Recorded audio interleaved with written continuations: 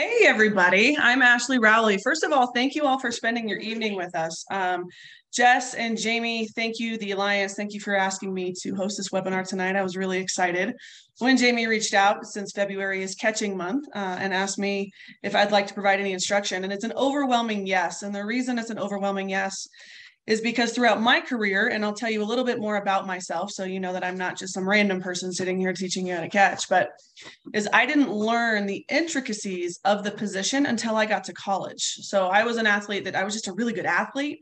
My older brother was a catcher, and I tried to keep up with him. But when it comes to the finer details of the position, I was never taught that. Um, so, fun story and fun fact. So, I played at the University of Florida. My first week on campus uh, in practice, we're throwing, we're warming up, and coach comes up to me and says, uh, Ash, you have side spin on your throw. And I said, Yes, ma'am. Didn't know that was a thing. And, and she said, No catcher of mine will have side spin. And she took the ball out of my hand and she gave me a spinner and said, You'll throw with this until the side spin's gone. And it took me eight weeks. So, something that I would have loved to know when I was 10 or 12 growing up. And it's really a detail that I reinforce with the catchers that I train right now those minute details within our position. Uh, if we think about catching, we know we don't have a lot of time to react. I mean, we're talking a, a pop time at the Division One level is 1.6 seconds. So in 1.6 seconds, that's not a lot of time for movement. So we really have to be intentional about refining our skills. So what I'm going to talk to you about today, I'm going to go ahead and share. I'm going to go ahead and share my screen here. So I'm going to pull up my presentation for you. All right. We are going to talk about the catcher's warm up. Now, the catcher's warm up is something that I learned in college, but it's a tool and it's a it's an everyday daily tool. Uh oh, there we go. Everybody hear me okay? Hopefully. Okay. So it's a it's a tool that I use every day with my catchers, whether it's in lessons, whether it's coaching high school, whether it's coaching club ball. Consider the catchers warm up the dailies or the everyday drills, the pregame drills that you're going to do with your infielders and outfielders. There's a lot of times, well, let me tell you more about myself before I get going. Bye, guys. Um, I played for the University of Florida. I was a catcher there from 2001 to 2005. I was a team captain, and I'm currently, I think, in the top five for single season and career fielding percentage records. Uh, high school, I'm born and raised from Colorado, was fortunate enough to win a state championship and win the Gold Glove Award. Um, as a coach and a professional, I am the founder and CEO of Colorado Softball Academy. Colorado Softball Academy is a full circle player development academy that we opened in August of 2022 in Loveland, Colorado. Um, I started the Colorado Softball Academy Foundation, uh, with hopes one to provide high quality experiences to girls in our sport uh, to provide scholarship opportunities for kids so uh, finances are not a barrier to play um, and to also provide for, uh, free mental health uh, resources for athletes who need it at no cost to them. I was recently appointed the president of the Colorado USA Softball Chapter Board of Directors. I don't know how I got myself roped into that one, but I somehow did. Um, and have been on the advisory board for the Rocky Mountain Fast Pitch League, the RMFL. Uh, I was fortunate enough to be a graduate assistant uh, coach at the University of Tennessee. I was there when Monica Abbott and Shannon Doepking were there and was part of the regional coaching staff of the year and part of the team that we were a second place runner up finish to the Women's College World Series at the Women's College World Series to Arizona. So I've been doing this for what feels like a hundred years, whether it's coaching teams, playing the game, uh, or doing private lessons, and it's uh, it's a passion of mine, no doubt. All right, catchers, we are the hardest working, most underappreciated, and most often the most underpracticed position on the field. There are so many times that I get asked from coaches, uh, what do I do with my catchers? Or do you have some drills I can do with my catchers? Or I'll ask my catchers when they come in for lessons, hey, are you getting to work on your throwdowns in practice? Are you getting to work on blocking in practice? And a lot of times the answer is no. Because simply, if you haven't played that position, then you, it's just it's hard to understand what to do, and it's hard to understand how to teach it. Many times, and oftentimes, catchers in practice, their practice consists of catching pitchers bullpens or catching in fungo for uh, infield and outfield team defense, and very little they get to work on their glove transfers or their footwork with blocking or their footwork um, and body positioning when they're framing. So this is a really important, I call it the catcher's warm up, but consider this, like I said, the dailies. catchers who are uh, listening right now, athletes, there is never going to be a time in your career when you're too good to do the little drills. Okay, you look at college athletes and they're still going to do their glove work, right? You look at your innies and outies and they're doing drop steps and they're working short short hops or bare hands. They're rolling balls to each other. Uh, you're never not going to hit off a tee, right? So throughout your career, you always have to have a regular focus on the details because the details are what set you up for success in the long term. And that's what's really responsible for allowing those big dog skills to fall into place, right? Our glove transfer. If we can refine that glove transfer, then we're going to, that's going to lead to that one six pop time. But these are the drills that you are going to do that you should do at least every day before practice. And every pregame is this catcher's warm up. So, what we're going to do is I'm going to walk you through what the catcher's warm up is. And I'm going to give you a little bit of instruction behind each drill and each skill to make sure that you you have a good basis and a good foundation to, to look for, right? I mean, I could say, okay, coaches, I want you to do five squares with framing. And you're going to go, great.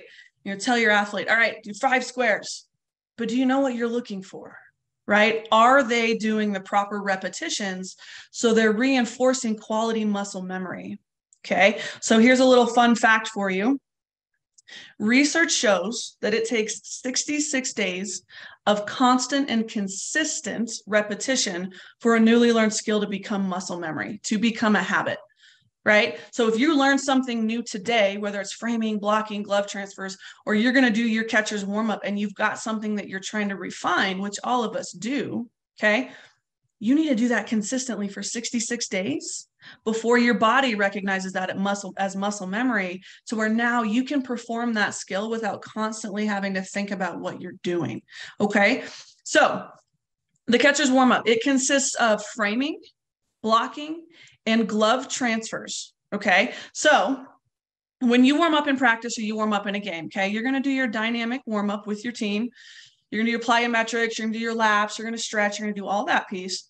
And then you're going to throw long toss. Now, I encourage catchers to warm up with catchers.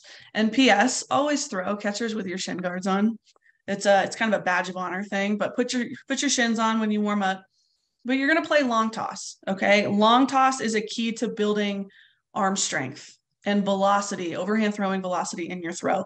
And when I say long toss, I'm not talking about, you know, if you're on the left field foul line, not just going past second base. Okay. I'm talking 180 feet.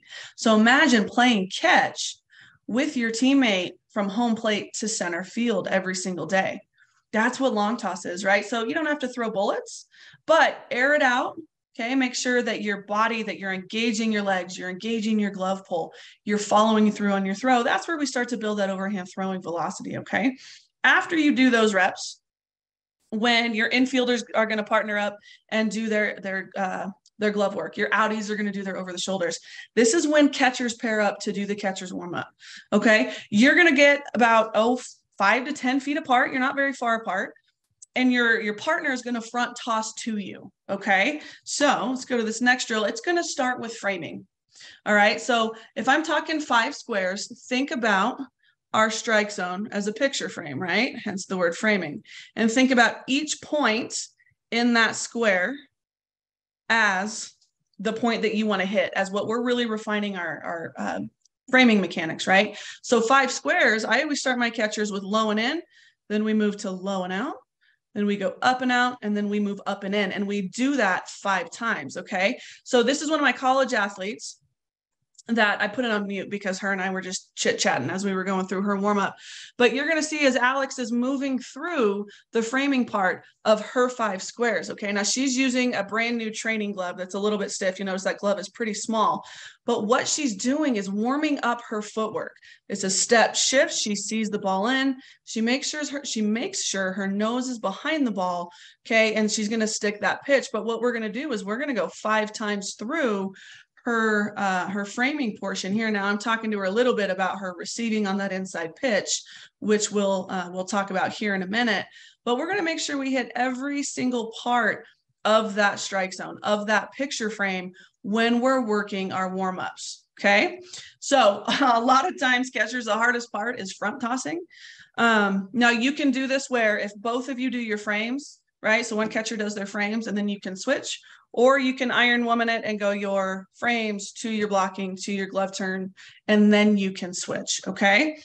All right. So what I want to do now is I'm hoping, just let me know if you can hear this on your end. Okay. Hey, catchers. You hear this? Yep, we can hear it. Excellent. So I'm going to do a little bit of an instructional breakdown just for those of you who are new to the concepts of framing, get a general idea of what we're looking at here. Okay. So I'm personally going to stop talking and I'm going to allow my 2020 self here uh, to walk through some of the key points of framing. And then we're going to move to that next phase of the catcher's warm up. Okay. All four points and corners of the strike zone. Okay. Low and in, up and in, up and out, low and out. So we're going to talk about body positioning Body shift, where do I receive the ball and what am I supposed to do with it? Okay, Alex, I'm gonna ask you to jump over there on this one. All right, when we talk framing, you guys, we're gonna give our pitcher the signal or coach is gonna relay that in. And the minute that you make eye contact with your pitcher, you're gonna go ahead and set up. Okay, remember we talked about how to receive the ball, getting up and ready, getting off of our calves, okay? And now my shoulders are over top of my knees. Now from this position, depending on what pitch I called, whether it's an inside pitch or an outside pitch, I am going to step with that outside leg and transition to the corner. Now, when do I do that? I do that when the pitcher starts her motion. Okay, I'm not going to give the signal and then set up and then she's going to throw because we're going to give that pitch away. Instead, once the pitcher has that signal and she starts her motion, I'm going to subtly transition to that corner for the pitch I just called. Here's the thing. You want to get your midline in the middle of that corner. You want that corner right in the middle of your body when you set up. Okay, so I'm going to call that pitch. Okay, I'm going to go ahead and get my up and ready position. Now, let's say it's an inside pitch. I'm going to step towards that inside corner, and I'm going to shift my weight to that outside hip. Now I'm going to receive the ball in the midline of my body. So if we talk about an inside pitch, okay, I'm going to let that pitch travel a little bit before I catch it. So notice I'm going to step, shift over, and I'm going to let the ball travel in the zone. Notice how I have a bent arm. When I receive the pitch, my wrist is under my glove. My elbow's on the outside of my knee. My palm is facing towards the plate. Then my fingertips are curved in slightly. Notice how my weight is shifted to the outside hip. Okay? Now I'm going to talk about the outside pitch. Same thing. I'm now going to step and transition my weight to the outside corner, and I'm going to shift my weight to my outside hip. See how my midline of my body is straight in line with the outside corner. My chest and my nose are down, but looking back towards the plate. Here's the big difference for the inside pitch versus the outside pitch. Remember how I talked about the inside pitch, we have to let the ball travel. See how I have a relaxed arm, okay? The reason for that is the ball travels faster than you will. If you have to have a steal throw or you have to throw somebody out, okay, you're gonna be quicker pop to pop time if we let that ball travel in the zone. If you reach and have to pull it, it's going to add tenths of seconds to your pop time. And when we're talking about 1.6 seconds at the Division One level, every 10 counts. Okay, so inside pitch, when I shift, I transition, I let the ball get deeper in the zone. Outside pitch, I'm now gonna go get this pitch. So when I receive the outside pitch, notice how my fingertips are facing the pitcher my palm is back towards the zone and my nose is looking down over the ball with my chest over the ball and my weight to the outside leg. Okay. Gonna- All right. So one thing I forgot to mention earlier is, you know, there's multiple different ways to accomplish a task right? Now, some of you are going to look at that and go, well, what about the thumb up method for framing? Okay there's so many different ways to do things but when you coach the biggest thing that you want to understand and athletes this is for you too is you want to understand the why behind what you're doing okay so for example i just taught i just explained to you on the inside pitch we allow that pitch to get deep, right? Now, you're going to hear some people like to go get that pitch. Now, uh, you know, in my career, I was never taught that way, never did that. Doesn't mean it's right or wrong, right? The reason why I don't teach this one is one, the ball travels faster than you will, but also what if you get a hitter, especially at some of the 14U, 12U, 10Us that has a slow barrel in the zone and you're barred out on that inside corner. Now you're at risk for getting injured and now you're at risk for catcher's interference. Okay. So the biggest thing that I encourage all of you to do is to really ask questions and take the time to understand the, the mechanics and the physiology and the science behind what we're teaching and the movements that you're doing. Uh, for example, you know, framing a big one is going to be that thumb up, right? Now, the reason I don't like personally the thumb up is because I tore my UCL ligament. Um, we play we play a sport that's got a heavy ball. You see that a lot in baseball, right? One of the differences, in, in my opinion, and through my experience and career, is we throw a heavy ball and a, and a hard down ball, right? And so if we're trying to frame a drop like this, we're putting a lot of stress there. And I have a pin in my thumb to throw that, that maybe our UCL can't really handle the force that's coming under that pitch, right? So let's get under it and let's let our wrist take the take the brunt of that. When and and we're going to do a Q&A um, after. So if you have notes and you're taking notes, make sure you jot down any questions you have specific to framing and I'm happy to talk through any of that stuff when we finish up. Okay. Whoops. We're going to talk about framing. All right. So we talked about the first phase of catcher's warm up, which is going to be framing. Now we're going to move to blocking. All right. So whether you switch with your partner or you're going all the way through the series, now we're going to do five balls in the dirt right at you. And then we're going to go five balls in the dirt to your glove side, five balls in the dirt to your throwing side. Okay. Uh, when you're tossing, if you're a coach or a teammate, try and toss the balls right beyond the tip of the plate. Okay, because what we want to really reinforce with our catchers is a kickback. All right, a kickback is key to taking the energy out of the ball when we block. So, one of the big things that I, I teach my catchers and they laugh a little bit about is, is how many times do we hear as catchers be a wall back there? Okay, well, what happens if I throw a softball as hard as I can against a brick wall? What's it going to do? It's going to ricochet with that same force away from that wall. Now, what if I throw a ball as hard as I possibly can against a mattress? It's going to deaden it and it's going to drop right in front of them. So I always tell my catchers, be a mattress. You want to take that energy out of the ball when you block it and you want to keep it playable in front of you, right? So the kickback is the best way to do that. So we'll start. I'm going to go ahead and play uh, Alex is is her warm up right now. And so all I'm doing is I'm just tossing short hops, or I'm going to try and toss short hops straight at her so she can work on getting that glove down. The first thing when we block, and you'll hear this next, is the first thing to hit the ground has got to be that glove. Chin to chest, see the ball. We're replacing our uh, our feet with our knees, and we're keeping that ball playable. Once I do five up the middle, then I'm going to work glove side. And Alex is going to do a great job of beating the ball to the spot getting her belly button around the ball and keeping that ball playable in front of her. And the reason that's so important is because we have a runner on base. We want to be ready to make that secondary throw and throw that runner out. As base runners, we know that we're looking for that ball in the dirt to take that next base. So for catchers, we want to take pride in owning the bases to make sure that we keep that thing playable in front of us. Okay.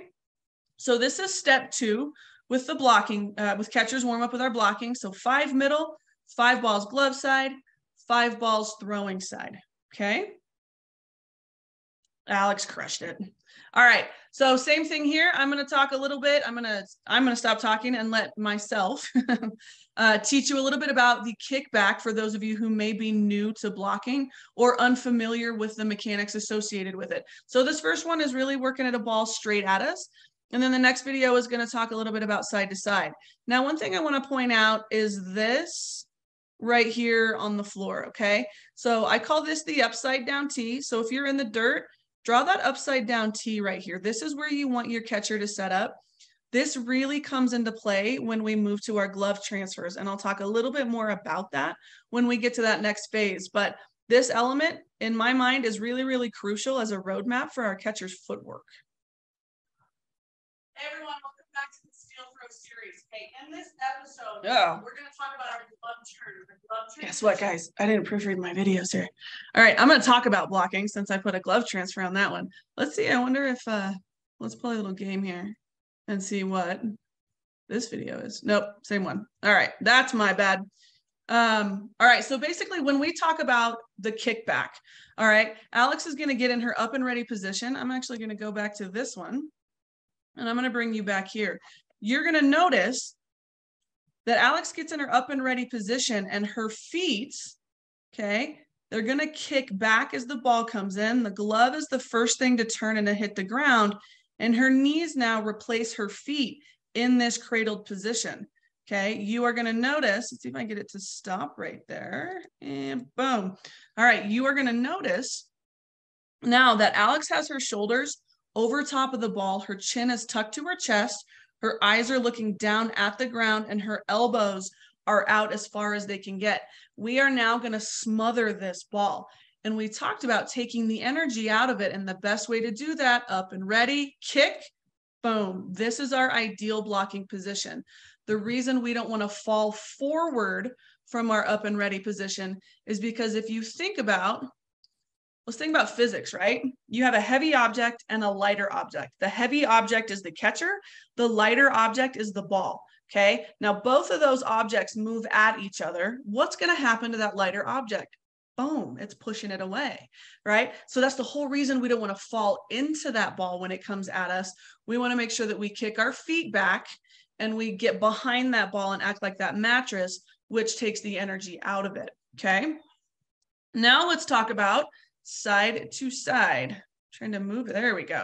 All right, let's talk about side to side. Hey everyone, welcome back to the Catching Academy. We're focusing on the blocking series. Now that we have shown you how to block a ball coming straight at you, we're now going to work side to side, okay? Here's what we don't do. We don't lean and fall. We don't reach with the glove, okay? The goal with blocking is to get your body behind that ball and get your belly button behind the ball.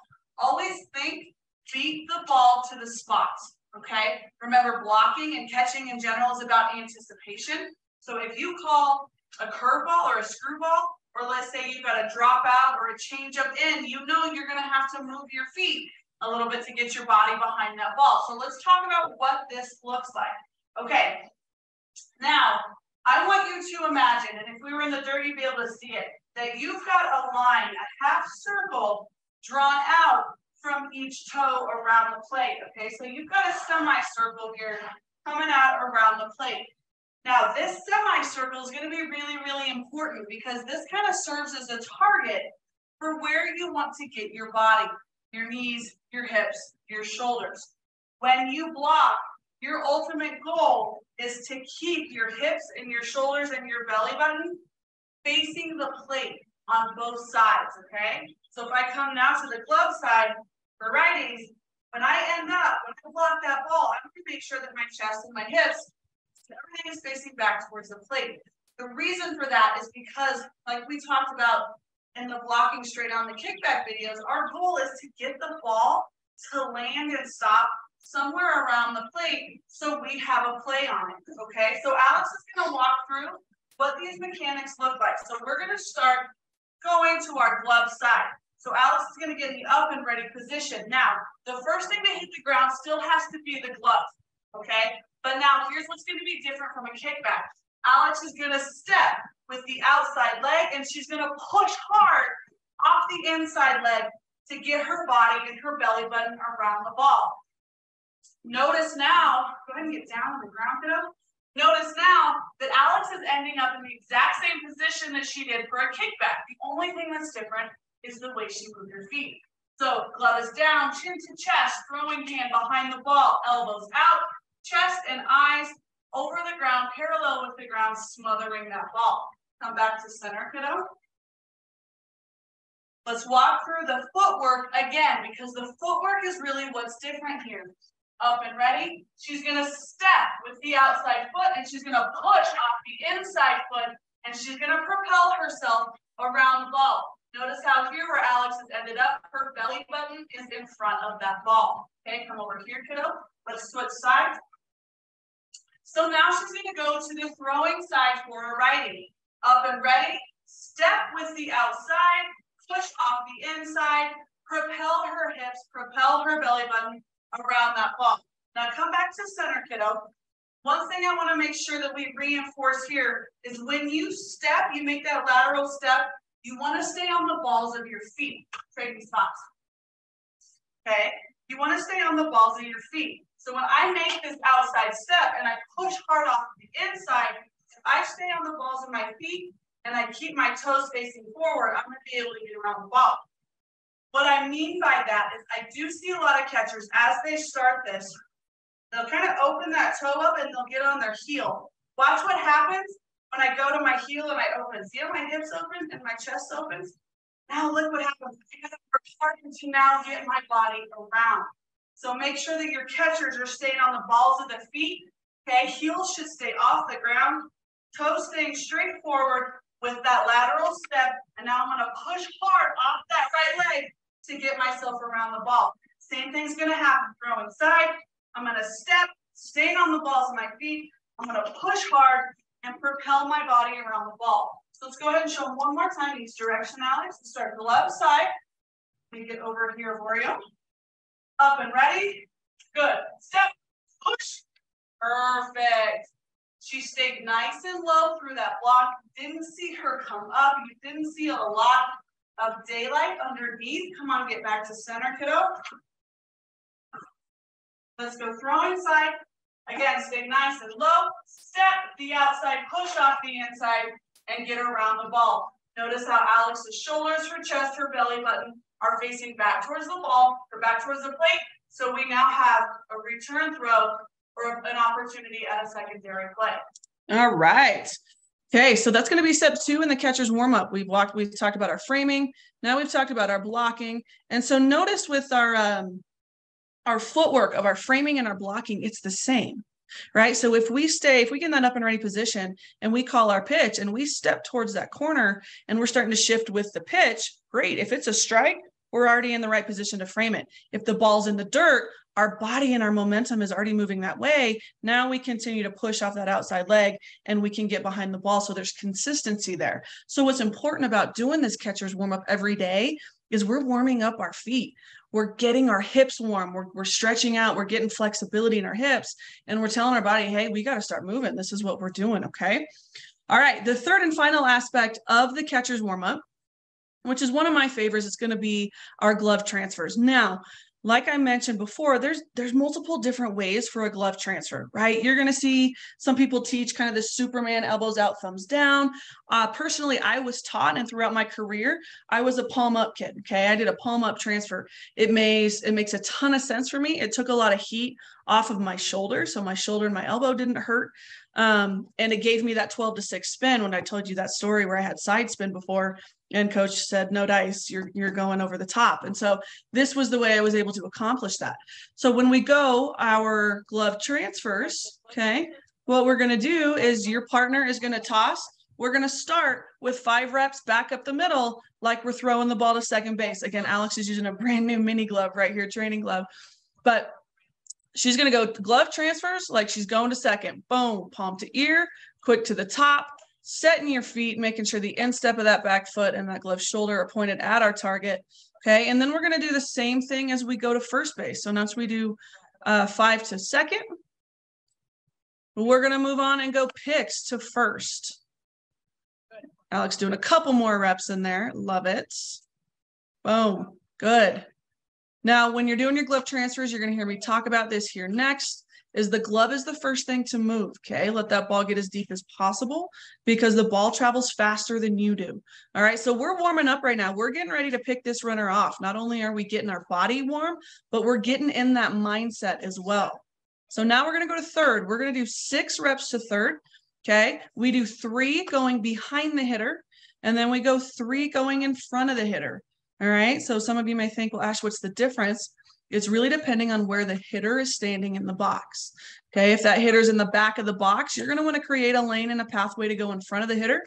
If she's middle or back, or I'm sorry, middle or front of the box, you you can go um, behind that hitter, right? We don't want to have to pick a fight with that hitter if we don't have to. So ideally, we want to create a throwing lane to throw that runner out. All right, I'm going to talk a little bit about glove transfers. Again, there's multiple ways to do this. I teach and I'm very familiar with palm up. So for those of you who are, aren't familiar with a glove transfer, the mechanics associated behind it, behind it, this is what you're going to hear me talk about here. This is where this piece on the floor really comes into play. Hey everyone, welcome back to the Steal Throw series. Okay, in this episode, we're going to talk about our glove turn, our glove transition, and where do we take the ball out of our glove. This detail will make or break your steal throw for multiple reasons. Here's the first thing you have to remember. The first thing to move when you receive the ball has to be your glove turn. It's not your feet. It's not your hips, okay? This is a little different than baseball. You'll see some baseball catchers move their feet, then catch the ball, then pull keep in mind they have a lot more distance to work with, and a man's body is, uh, is made anatomically to be stronger than ours, okay? We have a quicker game, we have a faster game, and so we have to be really clean and crisp and pay attention to the detail. So the first thing that's gonna move when you receive the ball is gonna be turning your palm to your ear. That's her forehead. That's her ear, okay? Here's the thing you got to pay attention to. When you receive the ball, and we talk about this a little bit in our, we talk about this a lot in our receiving episodes, is you have to get your wrist underneath your glove so you can push your palm straight to your ear. Look what just happened to my shoulder when I did that. Remember what two things have to be pointed to our target when we throw for an accurate throw? Boom. Okay. Check out what happens if my glove does not, my palm doesn't get to my ear. Or if it comes down here, look where it sits. Okay, if you want a sub two, you want a sub 1.8, you want a 1.6 pop time, you have to get gloves here. So let's talk about transition. Okay, where do you take the ball out of your glove? It has to be at your ear. So we get under the ball, get set up. Boom. Her wrist is under the ball when she receives it. She gets under the ball, palm to the ear. Now, her glove is facing the catcher because we're going to take the throwing hand and take the ball out of the glove. Alex, go ahead and turn around for me and face the mat. Down in your stance. Okay, go to the top, palm to ear. Boom. Look at this right here. You can see in the back of her glove, look how easy it is for her to reach in and get that ball out of her glove, okay? If she doesn't turn the palm to the ear, she's got to come around that glove and around herself to get to that throwing motion. Go ahead and turn back around. Remember, 1.6 seconds, when we're talking about tenths of seconds, that adds one or two tenths of a second. Okay, so the first thing to move when you receive the ball is your glove. Where does our glove go? We push the palm up to the ear. We get under the ball, push the palm up. Versus, look at the difference. This is what not to do, okay? If she receives the ball right here, look at how her wrist is the side of the ball. She's now going to drag the back of her glove, and now she's got to come around to get the ball. That takes longer. So make sure when you receive it that your wrist is under the ball so you can now push the palm up to the ear.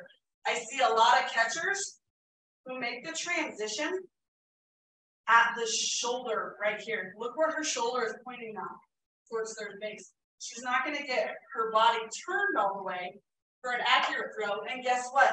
If she takes the ball out of, out of her glove here, she's not going to work to get all the way up here. She's going to force that throw from this position. Now we've lost power, we've lost accuracy. Guess what's going to start to hurt when you throw from that position, elbow. Okay, so first things first, palm to ear, boom, this position. Now what do my feet do? So now we're on our T line. The first thing that is going to turn is we are going to pick up the right foot if you're a righty, left foot if you're a lefty, and we're gonna put that instep right on that intersection of your power line and your upside down T. All right, kiddo, go ahead and go to the top, palm to ear. Good. Step right, turn that right foot. Good. And step on that power line. Beautiful. What two things have to be pointed to our target? Look how Alex is throwing shoulders at her target Look how the instep of her back foot's at the target and her toes are parallel on her power line. Now she's ready to throw. She's got her palm at her ear, okay? She's got that ball facing away from her and her elbows as high as her shoulder. Okay, we'll talk about in the next series what we do from this position. Go back down. But this is really important position for, for catchers for throwing anything we do. If it's bunt throws, if it's recovery throws, if it's steal throws. All right, go up and ready. And palm to the ear, pick up and turn the right foot. Beautiful. Now go back down, kiddo. We're going to do it again, and I want you to watch the right foot. It's really, really important. Go ahead, Miss Alex, up and ready, and slow motion. Turn. Look how she picks it up and turns it. She did not turn and pivot. Okay, she picked it up, turned the instep versus doing the pivot. When you pivot, and we don't get that instep turned all the way, a little bit slower, we lose power. So make sure your athletes are picking up that right foot. It's always going to be when you throw, right, left, throw for righties, left, right, throw for lefties. Okay, up and ready, and palm to the ear, right, left, boom, back down. Okay, so essentially now you're going to do that. Your your partner is going to toss five reps. You're going to go to second, five reps, picks to first, and then you're going to move to third. This is your compass. Okay, these lines are really really important because these power lines for catchers very very similar to what we do with pitchers. If you get your toes on those power lines and you get the instep turn to your target and you're striding to your target, you're setting your body up in a great position to have an accurate throw. If Alex were to leave her right foot over here odds are very good this left foot is going to step wide. Okay, so now our feet are at this angle. She's throwing to second base. Her arm's going to come out at a diagonal slot. And now we're going to have side spin. We're going to lose power and we may not have an accurate throw. So this is really, really crucial. Um, for building those quality that quality muscle memory as we go through in those little skills all right so let's recap here a little bit catchers warm up this is going to be our dailies for our catchers all right you do your dynamic warm up you play long toss you partner up with your catcher and you're going to toss to each other you're going to toss five squares you're going to work a drop in a drop out, out a rise out and a rise in you're going to go through that five times really working on moving your feet shifting your hips subtly to get behind the ball and commanding the ball. Stick that pitch when you receive it. No floppy gloves. Okay. Once you do that, you're going to move to blocking. You're going to go five straight at you with kickbacks. You're going to go five glove side. You're going to go five throwing side. working to stay on that horseshoe that comes out, extends around the plate from your toes to make sure we're beating the ball to the spot.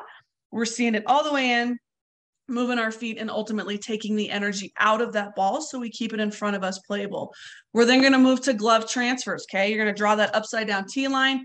We're going to do five of our transfer, however you transfer, whether it's elbows out, thumbs down, whether you're palm up, reinforce your mechanics. You have to do the little things daily, right? So you're going to go five to second, you're going to go five picks to first, and then you're going to go six to third three working in front of the hitter, three working behind the hitter. I know we haven't talked a whole lot about that today.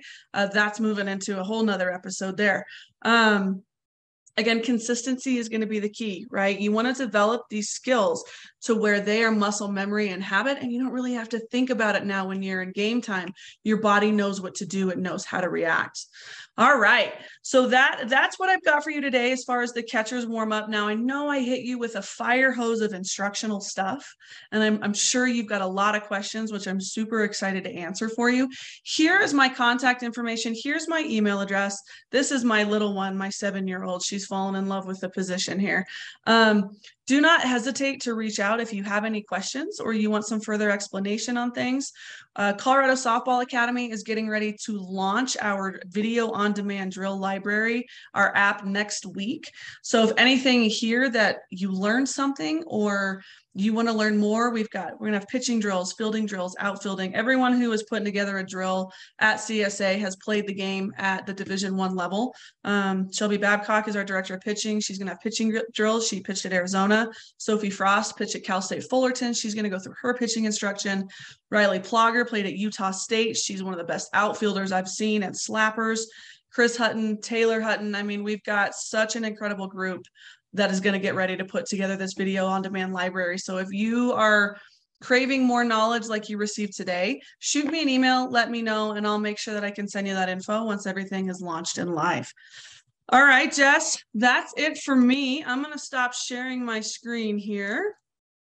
Yeah, uh, so if anyone has any questions for Ashlie, just feel free to pop them in the chat. Um, I know we have one in the Q&A right now, so um, feel yeah. free. We have probably another 15 minutes or so. So fire away. Awesome. Awesome.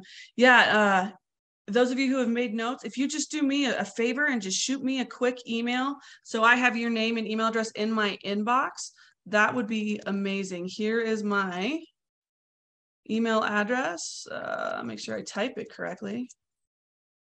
Rowley at ceosoftballacademy.com. Yeah, so shoot me just a quick email. So I've got your info in my inbox, and I'll make sure that I, uh, I will put you on a list. And once we launch that app, I'll make sure that you have all that information so you have access to that. Okay. All right, hit me with questions. There's no way nobody has any questions about this. there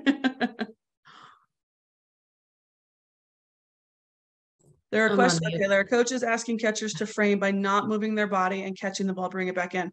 Yeah, uh, so really great question. Now, let's talk about this concept of framing. What are we trying to do is we are trying to create uh, a perception for the umpire, right? So what he is asking is catchers don't move your body. We're going to catch it here and we're going to pull it into the zone. Now, if you're an umpire and the first thing and you see that catcher's glove move, what is the first thing that you're going to think? It was out of the zone, right? It's all about perception. However, if we can set up our body, right, and we can receive the ball in the manner without moving our glove and dragging it in, but we're painting a picture for the umpire saying, hey, this ball is right here, right? So, not here, but now we catch it here the ball's in the same spot but it's the way in which we position our body and receive it that makes it look more like a strike okay um, so that great question mike i am not a huge fan of the stick because when i it's, it's all about perception like i said if you catch it here and pull it to me and in my experience that's telling the umpire hey you had to pull it in the zone so it must be out but if i can position myself when i receive it so it looks like it's in it we're going to have a better shot for a call Hope that makes sense. Great question. All right. Who else has one? Uh, we have, can you see the chat box, the Q&A chat I, box or no? Uh, I can, I can. Did I miss Oh, one? okay. Um, I can read them to you or? Yeah, that'd be great. Go for it. Sure. Um, so uh, the next question is what stretches are good to get flexible hips? Oh, such a great question. Um, I'm a big fan of crossover symmetry. If, if you're not familiar with them, I'm just going to type this in here. I, you should Google their stuff. So it's band work, uh, symmetry. Um, they've got upper body. So basically, what I make my catchers do when they come in for training is they've got a series. It was designed by former baseball players for injury prevention work. So we do upper body stuff but then they have what they call these hip halos. And it's a loop but it's a resistance band. And you step into that and you put it around just above your knees. And what that is working is you go through a series of drills that activate the muscles in your core and that's going to help with your flexibility because we're doing everything from side to side we're doing everything with squats but what we're really working is proper activation of the muscles surrounding your knees in your glutes, your hammies, and your core. So that's the first thing that you should do. Honestly, yoga is incredible for catchers. Um, anything where you sit on the ground, and I wish I could show you, but you put so if you sit flat on your back, okay, and you put both legs straight out, and let's say you pull your left leg, you pull your he- heel in towards your your glute, and your knee is bent. Now take your right ankle and put it right on that knee, and you're going to make a figure four. You're going to start to open those hips up. Okay, little things like that, uh, hip flexor stretches, um, anything that's going to hit the fronts, the sides, your glutes, hammy, and your core, and your, as, well, as well as your lower back is going to work that flexibility. But that is a wonderful question. Anything yoga related, honestly, is amazing for catchers. Uh, next one, what do you think are the biggest benefits of catching with wrist instead of thumb under ball? Mm, great question. You have more control um, and stability when you get underneath that ball. So think about the the movements and the mechanics associated with a drop ball. Okay, you've got something coming in with a really hard bite. So now I'm going to get my wrist under it. So that's going to take the blow because that's a stronger joint versus doing this. This is not a natural, comfortable position. And think about what we're asking this one to do, right? So I can show, I don't know if you guys can see this. I've got a sweet scar right here where I had to have a pin put in my thumb because essentially what happened is it was supposed to be a drop out and she missed her spot and I went and recovered. And the way that I received the ball put all the heat right here on my thumb and I tore that UCL. So they call it gamekeeper's thumb. And I had to have a, a surgery and put a pin put in it. So instead of putting the pressure here, let's put the pressure here. The other thing that I like about that is it allows us, if, if you get set up in your stance, and we're talking a drop on the inside corner or a change up on the inside corner, and that ball is low in the zone, if I drop my left knee in and I've got my elbow on the outside of my knee, now I can push my shoulder and my wrist under the ball and start to steal more strikes because there's going to be a point that you can only go so low here before you're handcuffed and you can't get underneath it. So those are the advantages that that I teach. Good question. Um, we have we have a question about if you offer clinics and camps during the summer. Yes, we do. So coloradosoftballacademy.com is our website. If you're on social media, make sure you follow our Facebook page and our Instagram because that's where you're really going to see all of our camp info. For those of you who come out to Colorado for sparkler or fireworks tournaments, we're going to put some events on during those. So if you follow those uh, pages and also if you uh, when you send me your email addresses, I'll make sure that we add you to our mailing list so you can stay up to date on the events that we're going to have in the summertime. Great question. Um, any recommendations for catchers with minor knee injuries like stretching drills? Yes. Dewey, can you give me a little more information on the knee injury? Because I'll give you, uh, I've had seven knee surgeries. Mine are kneecap related. Um, my ACLs are thicker than than anyone's ever seen. But I, when I was in middle school, I actually started subluxing my kneecaps, and they would they would go out and then they would pop back in. And it actually started in basketball. And I'm seeing a lot of this in young athletes because it's a result of one, the way that anatomically females are made, because we have a wider hip angle. But our VMO, your VMO is the inside quad muscle. So it's your quad muscle on the inside part of your knee. And inherently, if we don't train our quads and work injury prevention, the VMO is not strong enough to counter the force of our, our lateral quad, that quad on the outside, our lateral, it's called the um, vastus lateralis, right?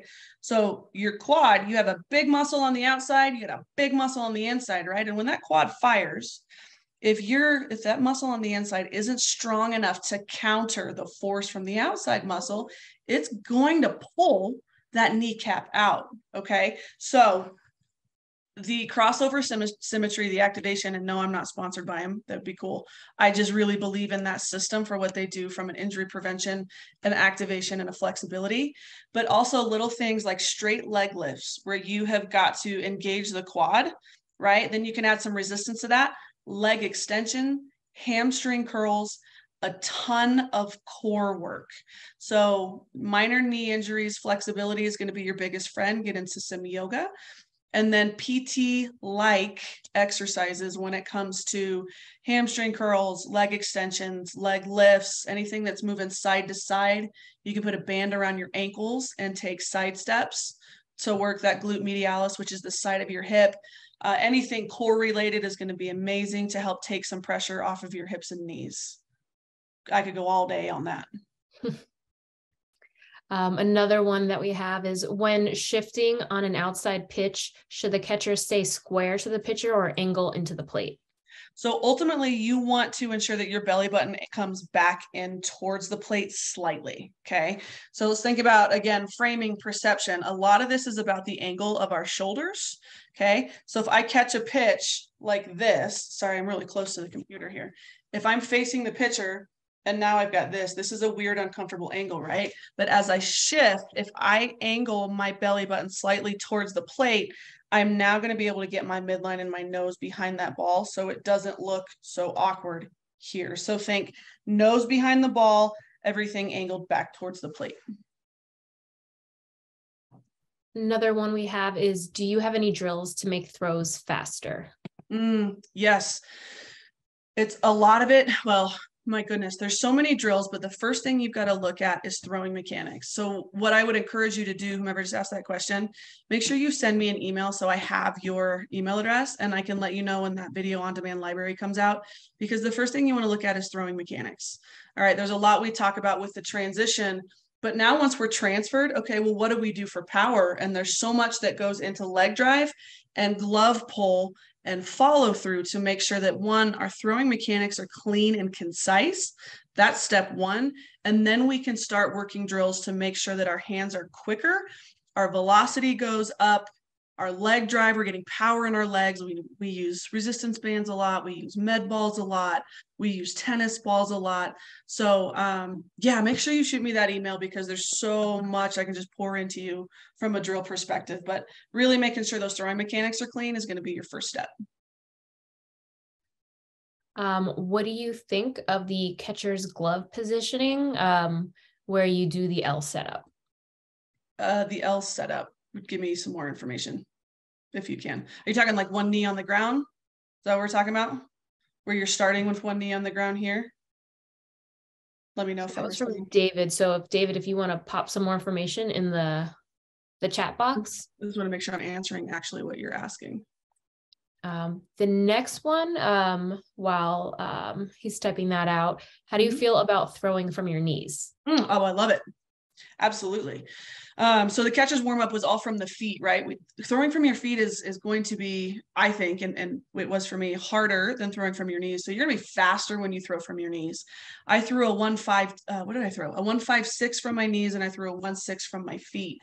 So that was always my go-to. Now, here is my rule with my catchers: is you're not allowed to throw from your knees until you show me consistency and accuracy from your feet first.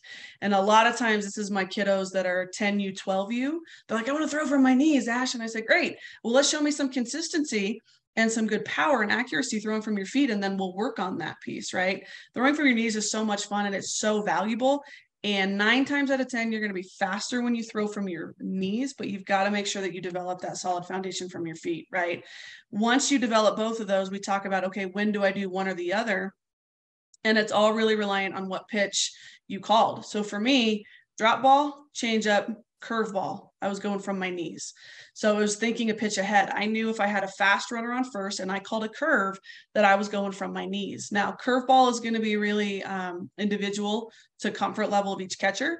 Rise balls and screw balls, I went from my feet because I knew they might have a tail on them and I'd have to go up and get that pitch. So absolutely throw from your knees after you've established that solid foundation from your feet.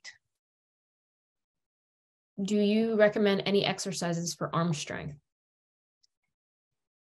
I'm going to go back to, to crossover symmetry. Um, so there's a lot of resistance band work that you can do that starting with uh, your lats, your deltoids. I mean, anything that's really going to encompass the shoulder capsule itself, working down into your back, as long as you get those activation series moving, those little things with resistance bands are huge.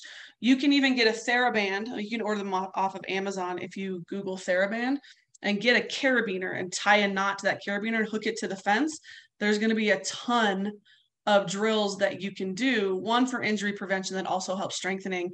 Long toss is huge for building arm strength uh, and overhand throwing velocity. Throwing mechanics are key, and then once once you're there, hit the weight room, and that's where you're going to start to see that go up. Do you think that catchers should drop a knee when catching, or should it depend on the situation? Good question. Uh, I think it's situational. So the biggest thing with this is you never want to drop to a knee. I, I, I don't love setting, I don't love it when catchers set up on a knee because what if the pitcher misses? What are you going to do? Runner on base? Absolutely not. Right. So it's going to be situational. Now you have a pitcher that's money with hitting her locations, with hitting her spots, and you get a drop in and you want to cheat a little bit without a runner on base and you want to set up a little bit lower. Yes. Uh, I always dropped my left knee in on my low and my low and in pitches and my changeups because it helped me get low and under the ball. But it's really going to be situational. I don't necessarily teach it um, I don't teach it from a setup perspective because I want you to be able to move your feet. I need you to be able to get around that ball if it's in the dirt. At the younger ages, our pitchers are the the consistency and accuracy. They're not going to hit their spots as much as a college as college catcher would, right? I mean, if you've got a, a I'm sorry, a college pitcher, you got a college pitcher at a Power Five school, they're going to hit their spots majority nine times out of ten, right? If not ten out of ten we're talking 14U, 16U, even at the 18U level. I mean, I'm watching some of our 18 teams and and our catchers are getting crossed up right and left. So if you're starting down there, you've just handcuffed your yourself to be able to actually move and steal that pitch and get around that pitch if it's in the dirt. But great question. Any tips on making pop time faster when throwing to second or third? Mm, it's all in that glove transfer all in that glove transfer. That's the that's the secret sauce right there. So that catcher's warm up we just talked about, cleaning that release up and pull, that is going to be your your pop time is in your glove transfer. How fast can you get the ball in and out of your glove? Um, is there a website or something of that nature that can teach catchers to call pitches? Ooh, awesome. That will be in our video on demand library. We're going to talk through leadership. We're going to talk through strategies of calling pitches, what to look for, knowing your pitcher, working with your pitcher. That's going to be in that video on demand library. Um, you know, I'm sure you can jump on and do some research with it. If you just do a simple Google or you jump on YouTube, there's probably some information out there. Um, but that's a really, really great question. A lot of how to call pitches is, is in my mind have been uh, been back there and understanding all right where's the pitcher in the box or where's the hitter in the box? Where are her feet? Where's she set up? Where are her hands? What's her barrel doing? Watching her warm up swings knowing my pitcher knowing her strengths. What is her best pitch? Um, what is her go-to pitch? What does her changeup and off speed look like? What is the situation? What is the score? Right? There's a lot that's going to go into that. Where where's my defense set up? What are we trying to get out of this play? So there's a lot that goes into that but absolutely um, we will have info on that. Cool. And then last one, going back to David's question. Uh, so it was, what do you think of the catcher's glove positioning, where you do the L setup, thumb and pointer finger? Mm, yeah, got it. Okay, thank you. Again, that's going to be more thumb under the ball. So I was always a big proponent of wrist under the ball. So not necessarily here, right? I'm going to put more heat here to get under that pitch. And then if I'm going outside pitch, I'm getting around that with the fingertips towards the pitcher. Um, so the L setup with your pointer finger and your thumb is going to really be that framing technique of coming this way underneath that. Not something that that I fell in love with. Doesn't mean it doesn't work. Um, I just had more success and I was much more comfortable getting my wrist underneath that ball, just so I had more control, especially when that ball's spinning. And then I know I said last question, but this is also a good one. Um, what age do you recommend a player begin weight training outside of scheduled practices? Ah, really, really good question. This is a this is a hot topic. Um, so there's a difference in functional fitness movements, okay, that strengthen the little stabilizer muscles around your joints and in your core and work overall athleticism, which are huge. And then there's the aspect of adding weights.